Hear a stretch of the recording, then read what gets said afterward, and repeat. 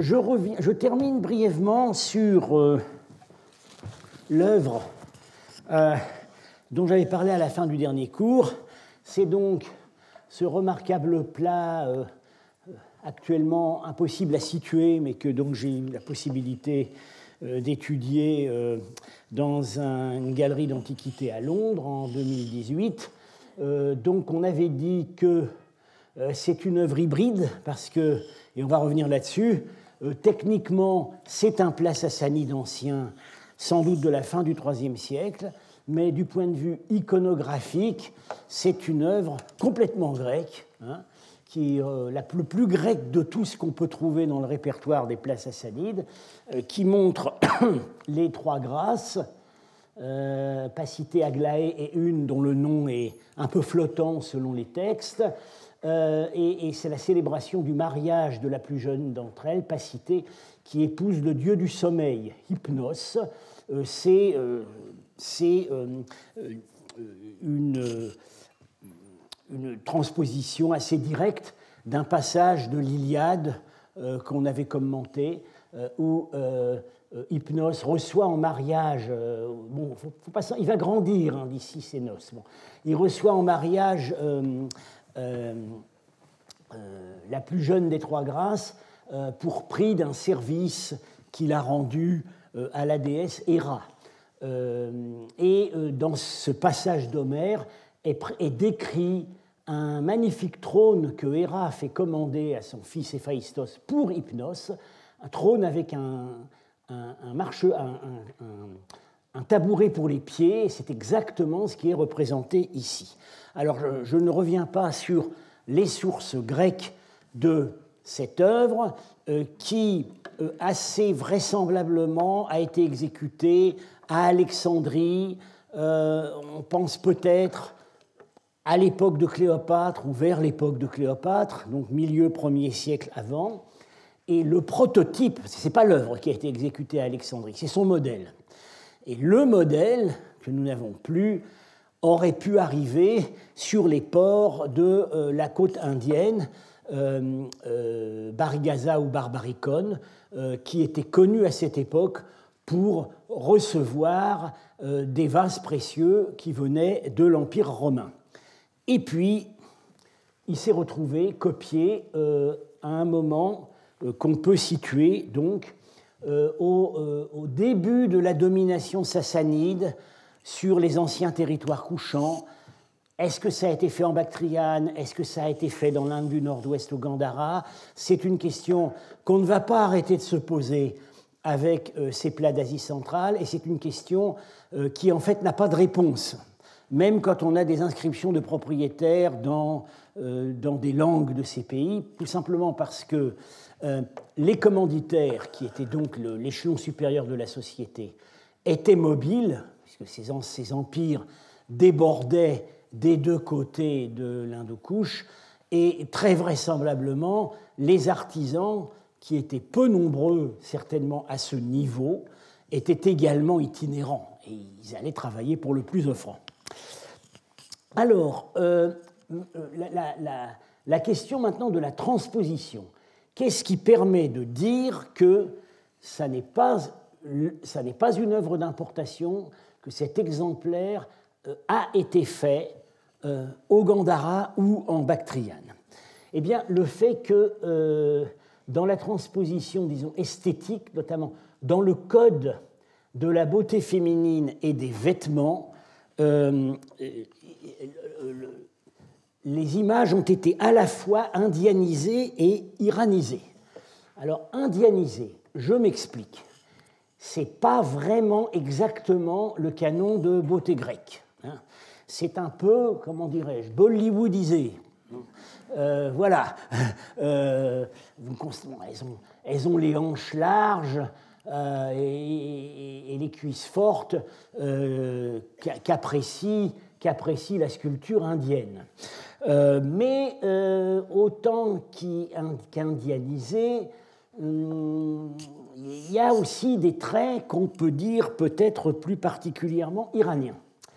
Euh, d'abord, euh, dans la, euh, le vêtement, dans le modèle grec, elles n'auraient pas de chemise. Hein. Elles, auraient, elles seraient nues jusqu'à la taille. On avait montré certains de ces modèles euh, dans le cours précédent. Bien. Euh, voilà, aldobrandines. Ben voilà, déjà, euh, Caligula qui fait représenter ses trois sœurs, qui, sous les traits des trois grâces.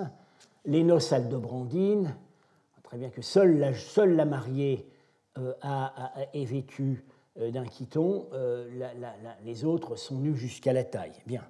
Ici, on les a habillés euh, non sans quelque maladresse. On leur a mis une chemise que je dirais faussement pudique. Euh, ça cache rien. Euh, c'est ce qu'on appelle le drapé mouillé. Voilà. assez caractéristique de l'art sassanide, notamment au, au, début. Et alors, quelque chose qui est vraiment typiquement sassanide, vous voyez, ce sont les franges tombante. Ça, c'est pas du tout grec, c'est euh, quelque chose qu'on retrouve dans les plats sassanides les plus anciens, ici, euh, fin 3e siècle. Euh, vous voyez, j'ai fait le zoom sur le bras du roi. Et vous voyez ces, ces plis qui tombent en, en sinuosité rapprochée, un peu comme un galon ça, n'est pas, ça, ça n'est pas dans le modèle, dans le modèle grec. Euh, du point de vue euh, du schéma corporel, euh, il y a des traits qui, sont, qui évoquent assez le traitement des femmes dans l'art iranien. les épaules larges, la poitrine beaucoup moins massive qu'en Inde, hein.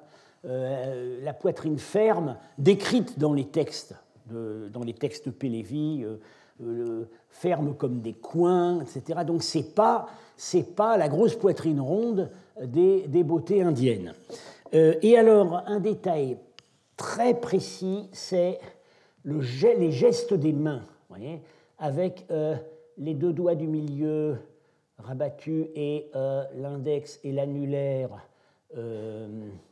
levés. Alors, on peut faire des rapprochements avec certains des gestes codifiés de la danse et du théâtre indien qu'on appelle les mudras, mais les analogies les plus proches, on les trouve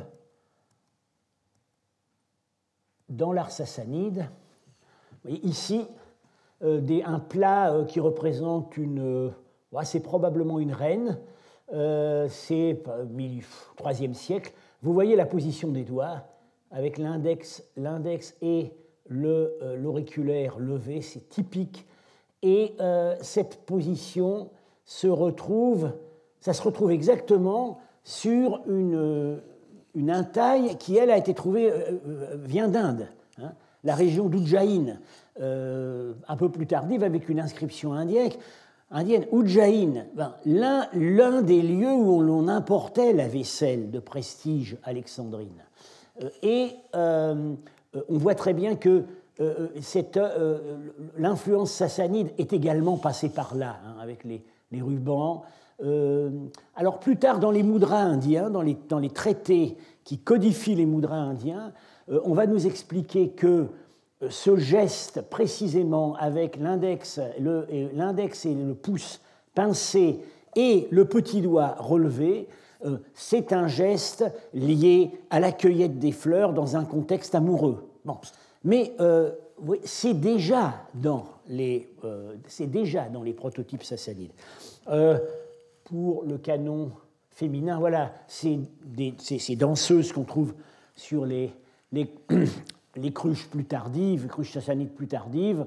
on, on, a encore la réminiscence de ces franges mais plus schématisé que dans les œuvres plus anciennes, euh, et euh, la, façon dont le corps est traité, euh, avec les, hanches larges qui rappellent ce qu'on a en Inde, mais des poitrines traitées d'une manière différente. Donc on est vraiment dans un canon esthétique qui n'est plus vraiment le canon des prototypes gréco-romains. Ces traits alors, euh, un détail également très significatif. C'est la cambrure extrêmement exagérée du pied. Euh, c'est pareil, c'est pas dans les modèles, mais on a ça euh, euh, dans la littérature, dans la littérature Pélévi et même dans l'Avesta. on sait la femme la, beauté, qu'on célèbre est supposée avoir la plante des pieds recourbés. Hein, Wishadag. Et c'est ce qu'on voit ici. Alors, euh, je vous ai dit que ce plat était inscrit. L'inscription, en fait, il y a deux inscriptions, brèves, mais euh, très instructives. Euh, une inscription Pélévi, en caractère Pélévi, et qu'on peut dater, la forme des lettres indique assez l'époque sassanide ancienne, 3e siècle, c'est l'inscription de poids. Presque tous ces objets portent c'est avant tout, je vous l'ai dit, avant d'être des œuvres d'art, ce sont des capitaux en métal précieux, et ce qui compte avant tout dans les inventaires, c'est le poids. Et là, il est donc dit, euh, il est écrit 150 statères. Euh, 150, euh, c'est-à-dire euh, le statère à peu près 4 fois, 16 grammes, donc ça correspond, en fait ça correspond au poids d'à peu près 2 kg qu'a aujourd'hui l'objet. Et puis une inscription en bactrien, faite comme, comme, souvent au pointillé, pas facile à lire, mais Sims Williams a pu tout lire. Assez souvent, on trouve les deux langues associées. Donc le bactrien qui, qui recycle des caractères de l'alphabet grec, hein, vous reconnaissez très bien le F, le phi ici, etc. Alors, cette inscription se lit appartient à la femme de Brahmadad, 150 statères. Hein, il y a une différence dans la mesure du poids. Alors, elle peut s'expliquer, il y aurait deux explications possibles. Euh, la, première, euh, la, première, inscription serait vraiment l'inscription de la de commande, et ce serait le poids indiqué par l'orfèvre. La quantité d'argent qu'il a utilisé pour son œuvre. Et évidemment, ça ne pouvait être qu'assez approximatif, parce que dans le travail de l'orfèvre, il y a forcément un peu de perte. Bon. Alors ici, curieusement, l'inscription d'inventaire donne un poids un peu supérieur, mais on sait qu'ils n'avaient pas des balances de précision, des balances électroniques, ils mesuraient parfois avec des pièces de monnaie or, euh, qui, euh, étaient selon le même étalon. Or, ces pièces de monnaie avaient tendance à s'user. Donc, plus les pièces de monnaie avec lesquelles on va mesurer un objet sont usées, plus ça va donner un poids conventionnel euh, élevé. De toute façon, vous voyez, la nuance est très faible. Alors, la femme, ben, on ne connaît pas son nom, je vais revenir sur ce point curieux. Le mari est nommé Brahmadad. Alors, on voit tout, c'est un nom hybride. Brahma, rien, le grand dieu créateur de l'Inde, pas, pas, de problème. Le fait que ce nom euh, soit celui d'une divinité hindoue euh, n'exclut pas que le personnage ait pu être bouddhiste. Euh, il y a des noms, il y a des noms avec des divinités indiennes dans le bouddhisme. Et puis le suivi Dad. Alors, très intéressant parce que normalement en, en indien, on attend Brahmadatta, créé, créé par Brahma. Et ça aurait dû être transcrit Brahmadat ou Brahmadato, en, bactrien. Euh, et puis là, en fait, la, terminaison du nom a été euh, iranisée selon un type de nom euh, donc le sassanide, extrêmement répandu, avec Dard, qui veut dire également donner par. Donc on voit qu'on a un, c'est un personnage transculturel. Il, euh, est, euh, c'est un Indien, euh, on ne sait pas si c'est un hindou ou un bouddhiste, mais en tout cas, il a visiblement vécu dans un milieu où il fallait, fallait iraniser son nom. Alors, on peut être, aller un peu plus précisément. Gérard Fussman, que j'avais consulté, m'avait expliqué qu'à cette époque, les noms indiens en datta deviennent assez caractéristiques de la, classe de, la classe de la caste des marchands. Euh, ce n'est pas des noms de, de brahmanes, ce n'est pas des noms de guerriers, c'est plutôt des noms de marchands. Euh, euh, alors, voilà, ça, nous permet un peu de cerner le personnage. Alors, la femme n'est pas, nommée. Alors, le mot pour femme, je n'ai pas transcrit ici le, le, bactrien, le mot pour femme qui est employé n'est pas le mot habituel wall, femme, épouse, c'est le mot fins, euh, qui appartient à un registre plus distingué. Fins, c'est la maîtresse de maison. Euh, euh, étymologiquement, celle qui s'occupe du bétail.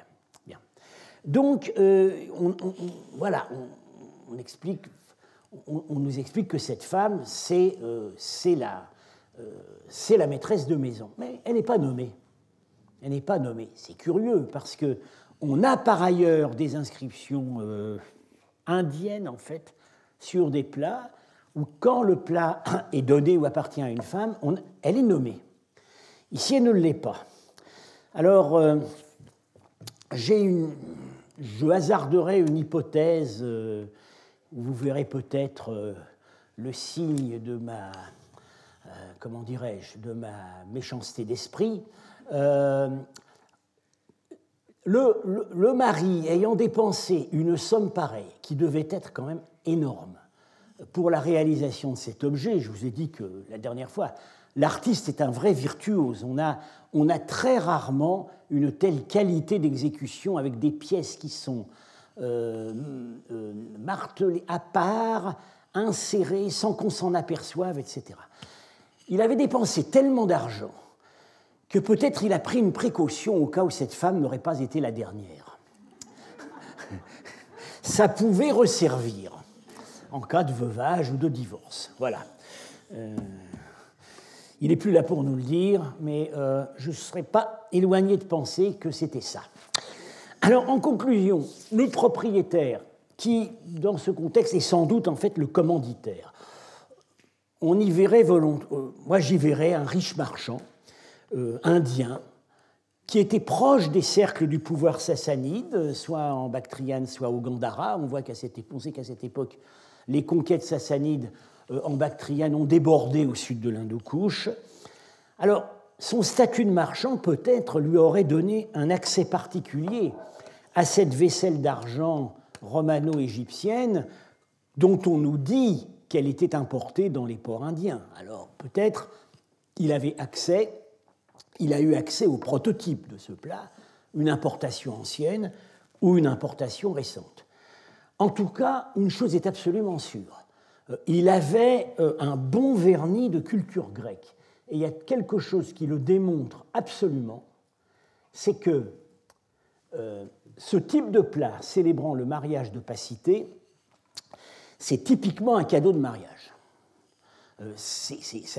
on n'a pas l'équivalent de ce plat euh, en, Grèce ou à Rome, mais évidemment, le contexte indique que c'était, un cadeau de mariage ou un cadeau pour une épouse.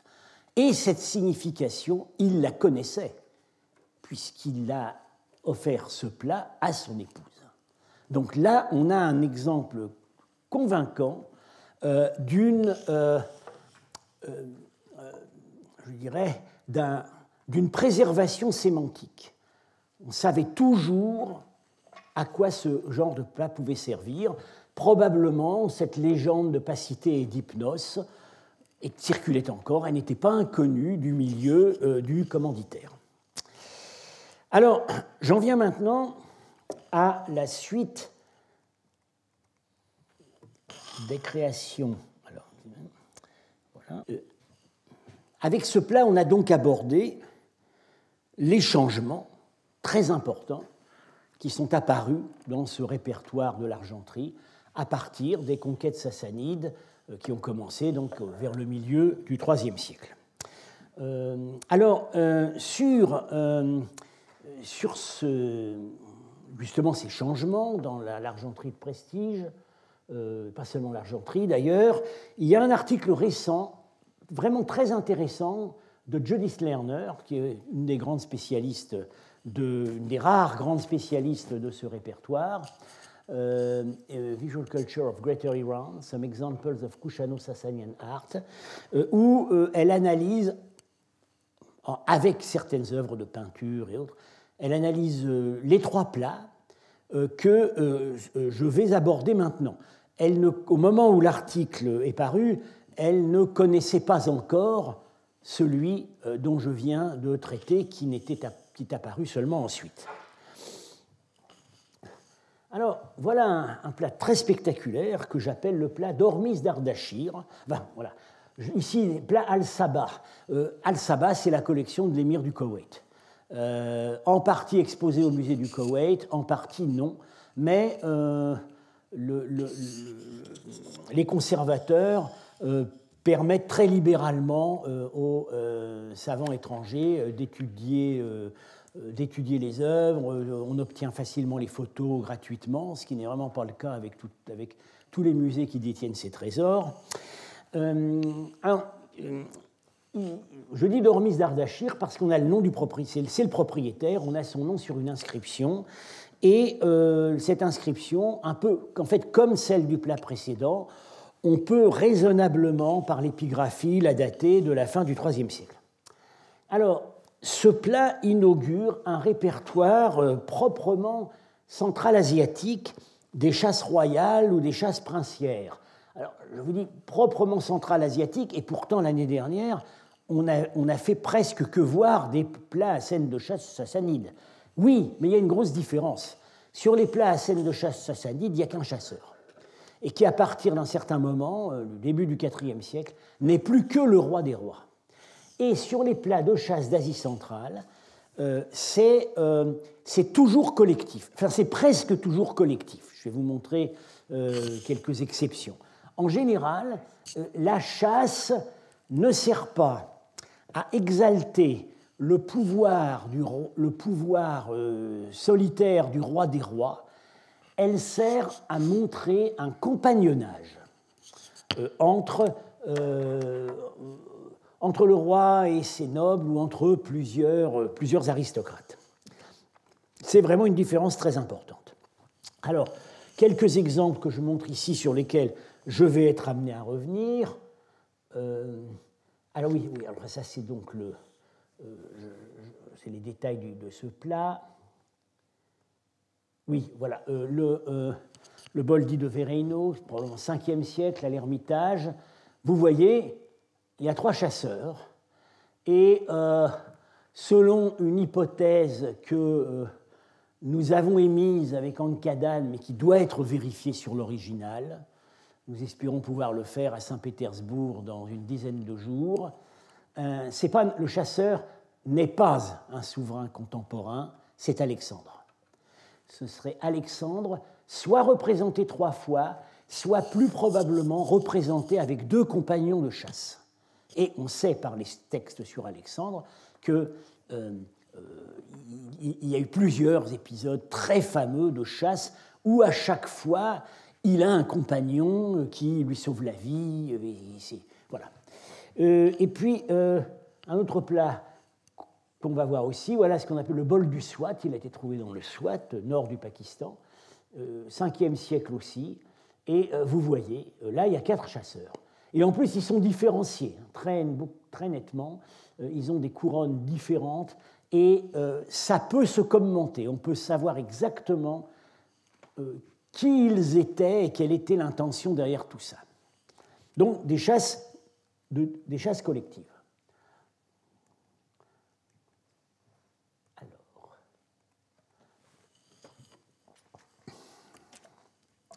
Ce plat de la collection Al-Saba. Euh, j'en ai déjà parlé l'an dernier, en introduction à mon cours, parce que c'est l'illustration la, plus parfaite d'un poème arabe du IXe siècle, du poète Abu Nuwas, euh, qui euh, explique que il participait à des pique-niques avec de grands aristocrates, de grands aristocrates iraniens, et la coupe circulait et le, on, mettait du vin dans la coupe. Et effectivement, ici, en théorie, en théorie, on peut verser du vin sur les figures. Ce n'est pas décoré à l'extérieur, comme la plupart des bols que je vais montrer ensuite, c'est décoré à l'intérieur. Euh, et euh, il est dit dans ce poème que euh, quand on rajoute de l'eau, ça ne monte pas plus haut que les ceintures des chasseurs. C'est une manière de dire on ne rajoute pas beaucoup d'eau. Voilà on boit son 12 degrés 5 très peu coupé. c'est une astuce. en tout cas, c'est de tous les plats connus, c'est celui qui se rapproche le plus de l'objet que Abu Nuwas a eu entre les mains. Alors, on retrouve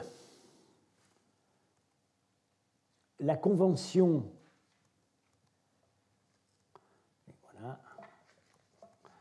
Euh, la, convention sassanide de l'animal dédoublé, voyez, euh, qui apparaît très tôt dans ce répertoire, alors donc qui est commune avec les plats exécutés en Iran. Euh, à la fois dédoublé, c'est probablement dans la plupart des cas, c'est pas deux, c'est pas un couple d'animaux, c'est le même. C'est le même vivant et mort, ou vivant et blessé. L'argument principal, un des arguments principaux pour situer ce plat à l'est, c'est la nature du gibier. Euh, bon, dans certains cas, vous voyez ici un ibex. là, ici, c'est pas dédoublé, c'est l'ibex et son petit. Euh, là des mouflons qui sont représentés par vivants, morts. Alors ça, l'ibex et le mouflon, on les trouve en Iran, c'est très fréquent sur les places sassanides, mais le félin n'est pas un lion, ni même un tigre parfois représenté sur les places sassanides, c'est la panthère des neiges, représentée d'une manière... Euh, je suis en train de voir si... un peu de désordre. Oui.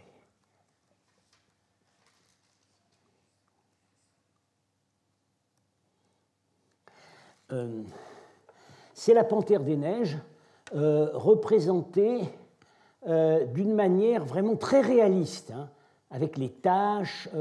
c'est presque parfait. Elle a la queue un peu plus, un peu plus poilue dans la réalité, mais c'est tout. Or, cette, euh, cette panthère des neiges, euh, euh, elle est vraiment, on ne la trouve pas en Iran. Si on, voit les cartes de répartition actuelles de l'espèce, c'est vraiment au Tibet, dans l'Himalaya et dans les montagnes tout à fait à l'est de l'Afghanistan qu'on la trouve. C'est pas ailleurs. Donc ici, on a bien voulu montrer que ça se passe, ça se passe, je dirais, dans l'Hindoukouche ou au Badarchan, ça ne se passe pas en Iran. Alors, euh, un, argument euh, pour dater également très assez haut, c'est le type de la, coiffure, n'est-ce pas? Euh, D'abord, le bonnet, c'est n'est pas la tiare droite, c'est un type de bonnet à, à boule projeté vers l'avant qu'on appelle le collar. Euh, et euh, il semble, il disparaît de l'argenterie sassanide euh, après, en gros, après le IIIe siècle. C'est vraiment quelque chose de caractéristique de l'époque ancienne. Et par ailleurs, les, la coiffure avec ses, nattes, dans certains cas, on a une coiffure qu'on retrouve plus fréquemment ensuite, voilà, avec des, cheveux frisés à l'arrière. Mais la coiffure avec les nattes, elle est plutôt caractéristique de euh, souverains euh, euh, contemporains, c'est-à-dire, bah, disons, voilà, de la fin du IIIe siècle. Vahram Ier, et justement, c'est une monnaie qui a été frappée à Bactre. Hein. Vahram Ier est euh, le successeur immédiat, l'un des successeurs euh, immédiats de Chapour Ier, et euh, son frère Narcée qui a régné plus tard. Alors, le personnage s'appelle, l'inscription donc le désigne, inscription d'Ormis d'Ardachir, fils de Péroz, fils de Karlsroy, argent martelé 115 statères. Alors pourquoi j'ai transcrit ici en, majuscule? C'est que euh, c'est ce qu'on appelle un, idéogramme. C'est qu'en Pélévi, normalement, bah, en général, euh, c'est transcrit en phonétique. Mais dans certains cas, ils ont continué à utiliser des, graphies de noms tels que c'était en araméen. Euh, et généralement, on sait à quel mot iranien la graphie araméenne correspond. Mais il se trouve qu'ici, on ne sait pas, euh, parce que c'est un, un, cas unique. En araméen, on sait ce que ça veut dire, c'est la racine qui veut dire frapper. Donc, euh, mais on ne sait pas quel mot iranien est derrière, peut-être peut le verbe kubidan qui veut dire frapper. Bon, alors donc, en tout cas, ça veut dire argent, argent martelé. Euh, le nom Le nom est intéressant. Euh, Hormis c'est un nom composé assez complexe.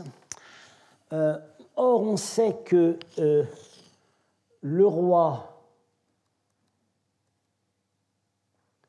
le roi qui avait précédé celui-là, qui n'a pas régné longtemps, un an seulement, le fils aîné de Chapour, s'appelait, on l'appelle Hormis de premier, mais en fait son vrai nom dans les inscriptions, c'est Hormis d'Ardachir. Euh, et euh, on a des exemples.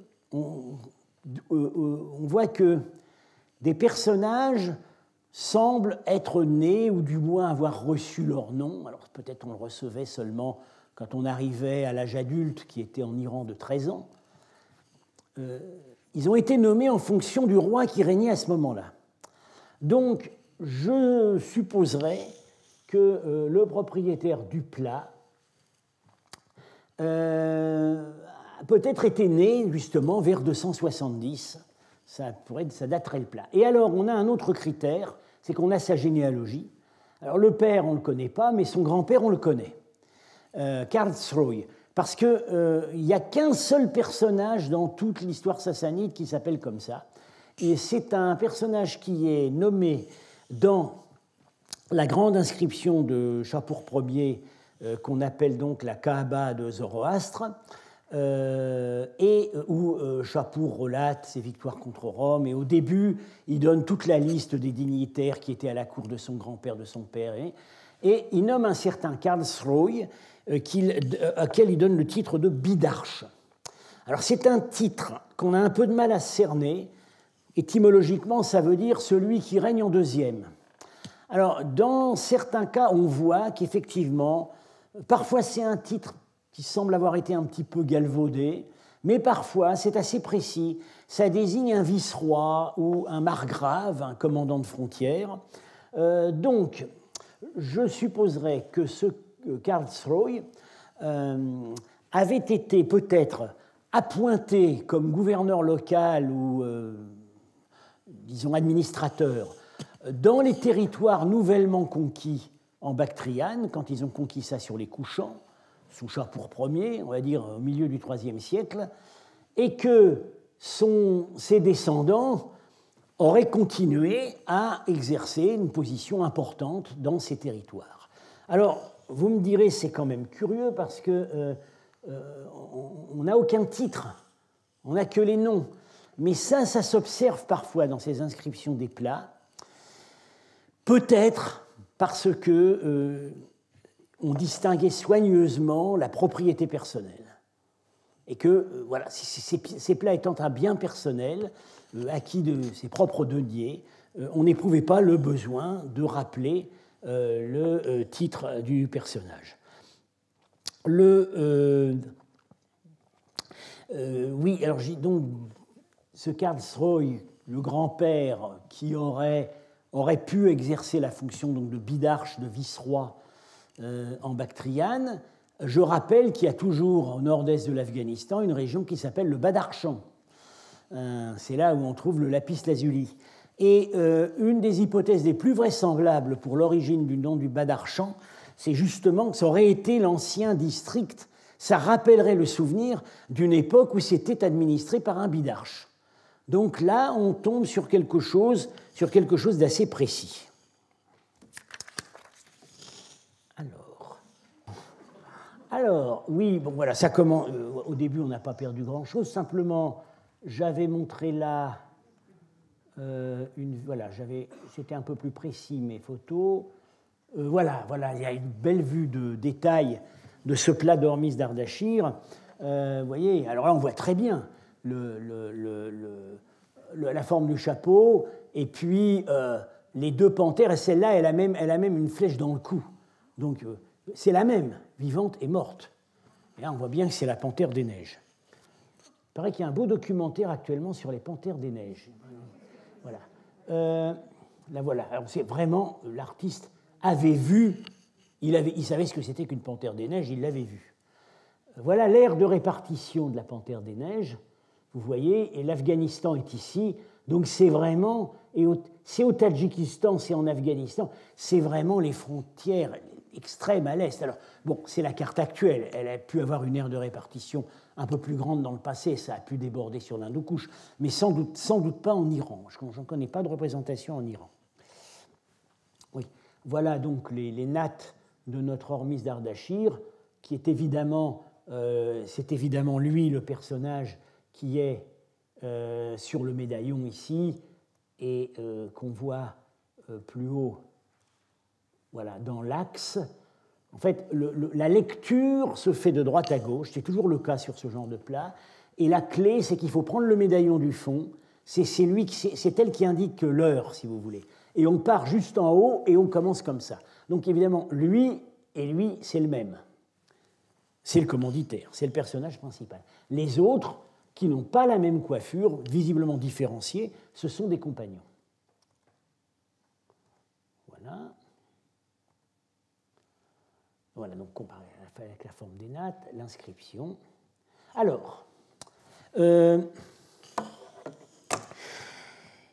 au siècle, donc à partir du IVe siècle, hmm, euh, on, a, euh, on a toujours une production locale qui continue, et puis on a, ce qui complique un peu les choses, c'est qu'on a une école officielle de, de plats royaux sassanides qui euh, s'établit vraiment sur la frontière est. On pense à Merve, voilà, qui était la le grand centre d'appui du pouvoir sassanide à l'est.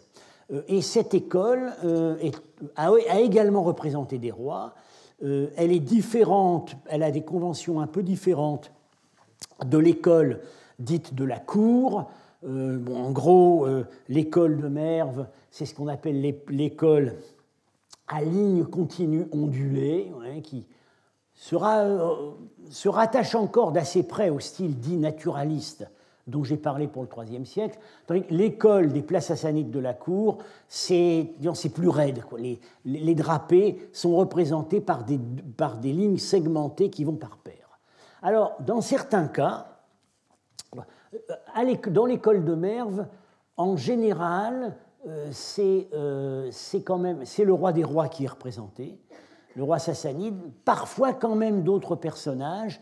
En tout cas, euh, il n'y a pas de chasse collective, hein, qui est vraiment typique de ce qu'on a localement en Asie centrale. Dans certains cas, c'est pas facile de distinguer entre prince local et roi des rois, puisque les princes locaux, surtout quand ils étaient éloignés du pouvoir, avaient évidemment tendance à imiter l'apparence du roi des rois. Alors voilà un plat euh, très connu à l'Ermitage, c'est vraiment un des plus beaux, il est dans un état de conservation absolument remarquable. Comme euh, la plupart de ces plats de l'Ermitage, il a été trouvé dans une tombe de l'Oural euh, au début du XXe siècle, donc il n'y a pas de doute sur l'authenticité. Alors vous voyez le, un naturalisme quand même assez, Enfin, naturalisme, c'est pas du naturalisme, c'est de l'épopée.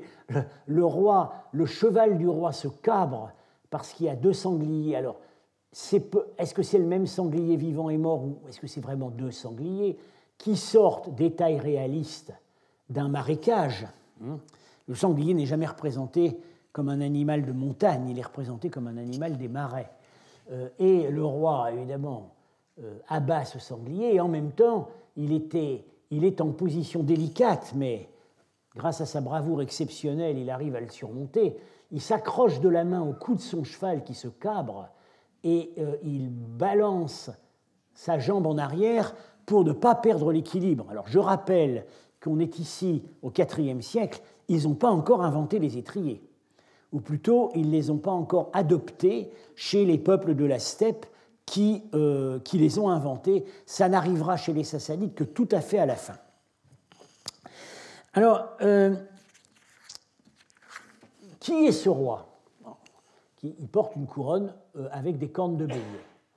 Alors, pendant longtemps, et c'était l'opinion donc de Marchak, ben, il l'identifiait comme un roi local, justement, de cette dynastie dont j'ai déjà parlé, les Kushano-Sassanides. En fait, à peu près à partir de 280 jusqu'en 400, les Sassanides, pour des raisons qu'on ne connaît pas très bien, ont laissé le gouvernement des territoires orientaux à des princes euh, qui leur étaient subordonnés, mais qui tout de même frappaient monnaie, y compris monnaie d'or. on pense, l'hypothèse la plus vraisemblable, c'est que c'est une branche cadette de la dynastie. Euh, euh, ils ont fait un peu, la même chose en Arménie à certaines époques. C'est ces territoires qu'on avait du mal à tenir. Alors, bon, il fallait quand même leur donner un roi, mais on prenait ce roi dans la famille royale pour qu'il soit fidèle.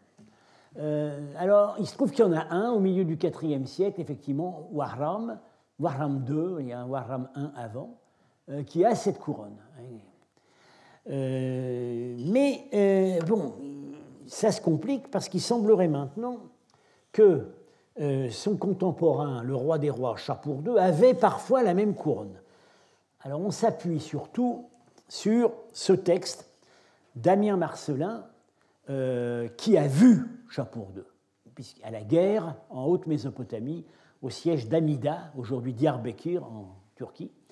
Euh, il, était dans la, il était dans la garnison et euh, il a vu le roi parce que le roi faisait, faisait une espèce de promenade de défi au pied du rempart D'ailleurs, la promenade de défi a failli mal se finir parce qu'il a, il a failli prendre un carreau d'arbalète dans la figure et du coup, euh, il, a, euh, il, a, fait massacrer la population quand la ville s'est rendue. Alors, le roi, donc il s'agit de Chapour II, monté sur son cheval et dépassant les autres par sa taille, menait en personne toutes les armées, arborant en guise de diadème une coiffure d'or chatoyante de pierreries qui figurait une tête de bélier. Voilà, alors, euh, donc, il avait effectivement parfois, en général, Chapour II, il a presque toujours une couronne euh, de merlon, hein, comme son ancêtre Chapour Ier. Là, on nous le décrit avec, euh, une tête de bélier. alors, on a trouvé, on trouve toujours des solutions. Alors là, la solution qu'on a trouvée, c'est Amien Marcelin a confondu le roi des rois avec euh, un de ses vassaux, qui donc euh, le roi Kushano-Sassanide, on sait, Amien Marcelin nous dit effectivement qu'il y avait des contingents couchants amenés par Chapour II à ce siège. Il ne parle pas du roi des couchants, il parle de contingents couchants. On bah, en fait, Chapour II a envoyé un de ses sous-fifres pour s'exposer au pied du rempart il n'aurait jamais fait la bêtise lui-même de prendre ce risque. Euh, quand on, invente des... C'est toujours très facile d'inventer des solutions psychologiques quand on n'arrive pas à résoudre le problème. Et puis, patatras, il y a quelques années, on trouve une monnaie d'or, c'est sur le marché des antiquités, hein, euh, qui, où on voit Chapour II qui porte euh, cette couronne de bélier. Alors là aussi, voilà, tentative, euh, tentative de récupérer l'ancienne hypothèse, bah, c'est un faux. Il y a un faussaire qui a pris le texte d'Amien Marcelin et qui a voulu faire le malin et qui a euh, inventé cette monnaie. aux dernières nouvelles, les meilleurs spécialistes euh, de, ces, des monnaies sassanides, comme Michael Alram à Vienne, Schindler, pensent qu'elle est authentique. C'est ce que je pense aussi. Donc, je dirais que euh, ici, je verrais plutôt Chapour II, hein, mais représenté euh, donc par euh, sur un plat de l'école de Merve, et c'est pas du tout étonnant puisqu'on sait qu'il a passé un an, plus d'un an à Merve quand il commandait les opérations sur le front de l'Est. Merve s'est même appelé à partir de cette époque Mar Marvi Merv la Royale, c'était vraiment la deuxième capitale de, de l'Iran. Euh, et euh, dans certaines circonstances, il portait ce type de coiffure. Alors, peut-être, on peut, là aussi, on peut essayer de, essayer de, raisonner. Euh, comme dit Rouletabille, passer par le, bon bout de sa raison. Euh, euh, peut-être portait-il ce type de casque, de, de, couronne, dans des circonstances où elle avait particulièrement besoin du dieu qui était représenté là. Or, il se trouve que Wahram, le dieu de la guerre et de la victoire, a plusieurs incarnations animales, dont le sanglier et dont le mouflon. Et euh, je me dis du coup, euh, là, il a besoin, il a besoin du dieu Wahram parce qu'il va combattre un sanglier. Et au siège d'Amida, il a besoin du dieu Warram, parce qu'il est à la guerre et qu'il s'expose au danger. Voilà, donc euh, j'irai pas plus loin, mais bon, je pense que l'explication pourrait se trouver dans cette zone. Alors, on retourne, j'avais parlé de trois plats qui marquent bien les débuts de cette nouvelle, cette nouvelle époque dans l'argenterie de prestige en Asie centrale. Euh, là, on retourne assez sûrement chez les Kouchano-Sassanides avec euh, un plat du British Museum euh, qui y est depuis très longtemps. Donc c'est pareil, ça ne peut pas être un faux, il, est, connu depuis très longtemps. Et qui d'ailleurs est toujours indiqué comme plat Kouchano-Sassanide. Alors, c'est un. je le date aussi de la fin du IIIe siècle. Je vais vous expliquer pourquoi. Euh, c'est vraiment pas, il n'est vraiment pas fait comme un plat sassanide, parce qu'il est, est très complexe. Euh, les plats sassanides sont vraiment centrés sur l'exaltation de la personne royale. Euh, on, voit, vraiment que lui est sa proie. Hein. Ou alors quand il est sur son trône, il est vraiment très central, il y a les dignitaires autour. Ici, c'est très foisonnant. Hein. C'est très foisonnant, c'est très narratif. Hein. C'est vraiment déjà comme euh, ce qu'on va rencontrer ensuite avec ces plats d'Asie centrale. Euh, il faut partir de l'idée que le, schéma de composition euh, est inspiré de, assez probablement de la vaisselle impériale romaine. Et il y avait un type de plat qu'on appelait les missoria. C'était donc les plats qu'on envoyait en cadeau. Alors vous n'avez qu'à penser aux missi dominici de Charlemagne. Les missoria, c'est une catégorie de plats bien connue et il se trouve qu'ils sont également, selon ce schéma, c'est-à-dire qu'il y, a, deux secteurs, parfois le, bord euh, porte des motifs, et puis il y a deux secteurs au centre, un secteur plus petit vers le bas et un voilà, plus, plus développé vers le haut. Euh, et, le secteur plus petit, en fait, donne la clé. Ça nous indique ce qui se. Ça nous indique la. Ça a une signification symbolique peut-être plus importante. On a vu la même, euh, le, même schéma avec le plat des trois grâces. La scène du mariage, de l'union, elle est en bas. Et ce qu'on a en haut, c'est en fait une scène qui est un peu accessoire par la scène de l'union, puisque c'est les préparatifs de la mariée. Donc il faut partir de cette idée pour essayer d'interpréter ce plat. C'est pas facile, c'est pas facile. Euh, j'ai une je vais vous fournir mon explication. Euh, j'en suis pas certain à 100%, mais euh, il, faut bien, il faut bien essayer de, tout ça, tout ça est évidemment intentionnel. Voilà, donc il faut essayer de, trouver, de trouver les clés. Alors, on va commencer par le plus facile, c'est-à-dire le tour. Vous voyez tout de suite, seule la moitié est conservée. C'est une scène de banquet avec des personnages qui semblent ne pas être royaux. Il n'y a aucun signe de... Il n'y a pas de ruban euh, pour les hommes, il n'y a pas de couronne. Un personnage plus grand que les autres, qui est euh, assis sur, sa, sur son lit, hein, euh, vraisemblablement, c'est le propriétaire.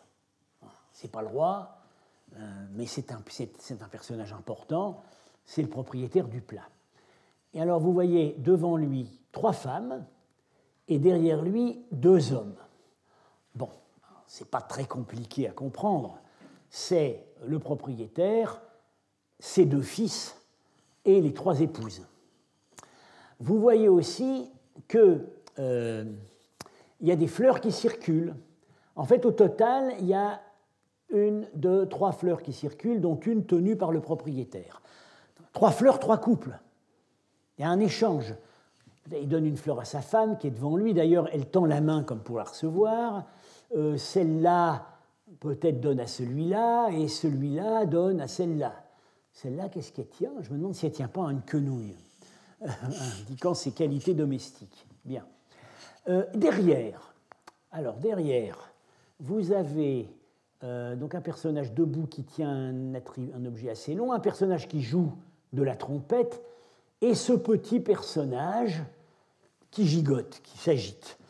J'avais pensé au début que c'était un, un, des enfants. Et euh, bon, grâce à Ankadan, j'ai une autre explication et qui me convainc totalement. C'est un nain. Voilà. Alors, vous avez ici et ce n'est pas la seule représentation de nains dans le répertoire des sarcophages des, tombeaux sogdiens de Chine. Vous avez le relief funéraire d'Anxia, 579. Euh, J'en ai parlé à mon cours il y a quelques années. Euh, vous avez une scène de banquet. Alors c'est pareil, le personnage est donc assis euh, en pose de relaxation sur, sa banquette. Un joueur de lutte, ici, je ne vois pas, on ne voit pas très bien. Et là, un joueur de harpe. Ici, ce sont des nains, représentés souvent comme ça dans l'art chinois. Avec, ils sont toujours en train de danser. C'était des figures amusantes. il y avait tout un, tout un commerce, des peuples. Il y avait une île dans l'océan Indien qui était spécialisée dans l'élevage des nains, euh, et on les, on les, envoyait à la cour de Chine. Bon. Et c'est ce qu'on a ici. Voilà. Donc c'est la distraction, c'est la distraction du banquier. Euh, ici, donc, évidemment, un joueur de trompette. Ici, euh, c'est mal conservé, mais je n'exclurai pas que c'est un joueur de lutte et que le manche du lutte devait se trouver ici et à sauter, puisque c'est un de, ce plat est, selon la technique, des pièces insérées, donc certaines, certaines ont sauté. Euh, qu'est-ce qui pouvait bien qu'est-ce qui pouvait bien se trouver dans cette partie? Gauche On voit que la, scène, que la scène ici est délimitée par un arbre. Euh, donc c'est un procédé qu'on va souvent retrouver, et ça veut dire que c'est en plein air. Ce banquet se déroule dans un jardin. Alors, ça peut, être, le début de la scène du banquet, ça pourrait être aussi une scène d'une autre nature, pourquoi pas une chasse. Alors maintenant, j'en viens à la partie centrale.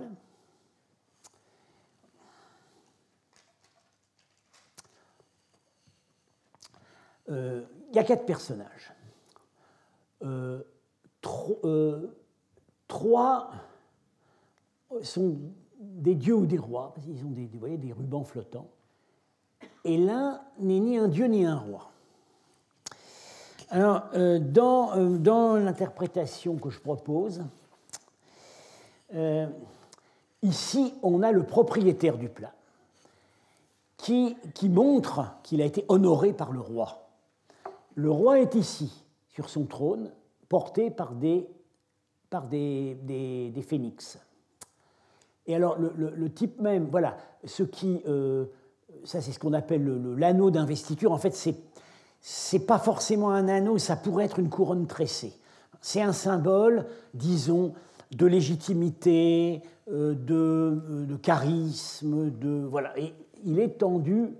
Euh, le, mais vous voyez par rapport à ce, il n'est pas enrubanné quand même. Donc, je dirais, c'est c'est la transmission d'une autorité, mais d'une autorité qui n'est pas royale. Euh, euh, ce qui correspond à l'idée d'une autorité non royale dans cette culture, c'est ce qu'on appelle, c'est le farn, le, le, principe de la fortune, la chance, mais en même temps le charisme, l'autorité. Ici, il y a une certaine forme d'autorité conférée par le roi à euh, ce euh, personnage qui doit donc, à mon avis, être investi, je dirais, comme gouverneur. Au-dessus, le roi lui-même est investi d'un symbole de, du charisme euh, qui, est parfois, qui est représenté parfois par un ruban dénoué. Alors ruban noué, ruban dénoué, il y a tout un jeu là-dessus qui n'est pas complètement élucidé, mais on voit que ça doit tourner autour de ça avec un petit angelot, un petit angelot qui vole. Euh, c'est un, un, éros masculin. Euh, alors, ça vient du type du type grec de la, de, la déesse Nike de la victoire, qui volait et qui apportait une couronne au vainqueur. Mais euh, depuis le premier siècle avant notre ère, dans les représentations iraniennes, la Nike est souvent masculinisée. Et je pense que l'une des la raison, c'est que le, le, mot farne, qui est donc cette espèce de principe de charisme symbolisé par ces objets, est masculin et euh, associé à un dieu qui est masculin, parfois assimilé à Hermès. Donc on a voulu masculiniser euh, le euh, ce principe. Alors, le, pourquoi, on pourrait dire, mais pourquoi, pourquoi le roi Pourquoi pas un dieu? Euh, oui, mais euh, je ne crois pas que ça puisse être un dieu. D'abord, quel dieu sur ce trône de griffon? On peut penser à Mitra, mais Mitra n'est pas sur un trône de griffon. Mitra est sur un trône de chevaux, les chevaux solaires.